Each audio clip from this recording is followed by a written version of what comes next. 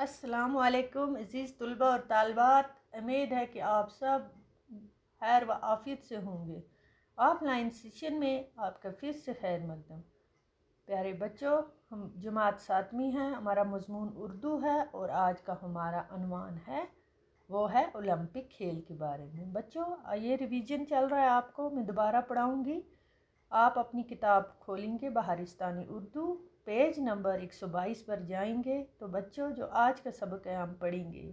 اس سے پہلے میں آپ کو یاد دلاؤں جو کل ہم نے پڑھا اولمپک کھیل کے بارے میں، ہم نے اس میں یہ پڑھا تھا کہ ان مقابلوں میں جو عورتیں ہوتی تھیں، غلام ہوتے تھے اور غیر یونانی لوگ ہوتے تھے، ان کو حصہ لینے کی اجازت نہیں ہوتی تھی۔ اور شرط یہ بھی ہوتی تھی کہ کسی نے کوئی جرم نہ کیا۔ وہ ان کے اعمال اچھے اور پاکیزہ ہوں۔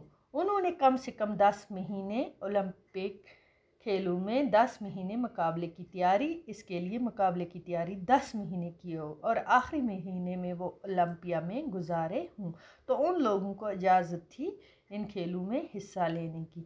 یہ شرط تھی اس وقت۔ مقابلے سے پہلے کھلاڑیوں کا معائنہ ہوتا تھا، کھیلوں میں دیانتداری سے حصہ لینے کا عہد یعنی وعدہ کیا جاتا تھا، وعدہ لیتے تھے ان سے اور ان لوگوں کی بڑی عزت کی جاتی تھی۔ شاعر ان پر نظمیں لکھتے تھے، سنگ تراش ان کے مجسمے بناتے تھے، عوام جلوس نکالتے تھے اور کھلاڑیوں کو بہترین اعزاز سے نوازا جاتا تھا۔ یعنی عزت کی جاتی تھی، زیتون کی پتیوں کا تاج بنا کر ان کے سروں پہ رکھا جاتا تھا۔ زیتون کی پتیوں کا، زیتون جو ہوتا ہے نا بچوں، ان کی پتیوں کا وہ پیڑ ہوتا ہے، اس کے پتے جس کا تیل ہوتا ہے، زیتون کا تیل۔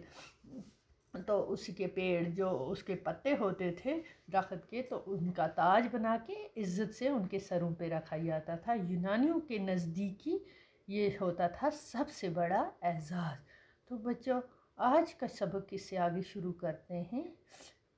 آج کا جو سبق ہے، چلو ہم پڑھتے ہیں۔ یونانی اولمپک کھیلوں کا یہ سلسلہ تین سو چورانوے عیسوی تک جاری رہا۔ کتنے تک جاری رہا؟ تین سو چورانوے عیسوی تک جاری رہا۔ پھر یہ مقابلے بند ہو گئے بعد میں اور اولمپیا کے میدان میں سناٹا چھایا گیا۔ کھیلوں کا یہ سلسلہ پندرہ سو سال تک بند رہا۔ کتنے تک؟ پندرہ سو سال تک۔ انیسویں صدی کے آخر میں یہ فرانسیسی جوان کو بے تین کو بیتین نے اولمپک کھیلوں کو پھر سے شروع کرنے کی تحریک شروع کی۔ اس نے شروع کیا دوبارہ انیسویں صدی میں۔ پہلے یہ بند ہو گیا تین سو چورانوے۔ کا خیال یہ تھا کہ دماغ کے ساتھ جسم کی نشو و نما بھی ضروری ہے اور خود اولمپیا گیا اور وہاں اس کو خیال آیا کہ انہوں نے کیوں نہ کھیلوں کے مقابلے بین الاقوامی سطح پر شروع کیے جائیں اور اس نے کیا کیا؟ اٹھارہ سو چورانوے عیسوی میں، ستارہ سو چورانوے عیسوی میں انہوں نے دنیا بھر کے کھیل کود کے نمائندوں کو دعوت دی۔ یہ جس جل جل جلسہ جو تھا بہت کامیاب ہوا اور سب نے تائید کی کہ اولمپک کھیلوں کو پھر سے شروع کیا جائے۔ چنانچہ سب سے بڑا یونان کے شہر ایتھینس کا انتخاب ہوا اور چھ اپریل اٹھارہ سو چھیانوے عیسوی کو پھر سے اولمپک کے کھیل شروع ہو گئے اور اولمپک کھیلوں کی تاریخ میں کوبیتین کا نام ہمیشہ زندہ رہے گا۔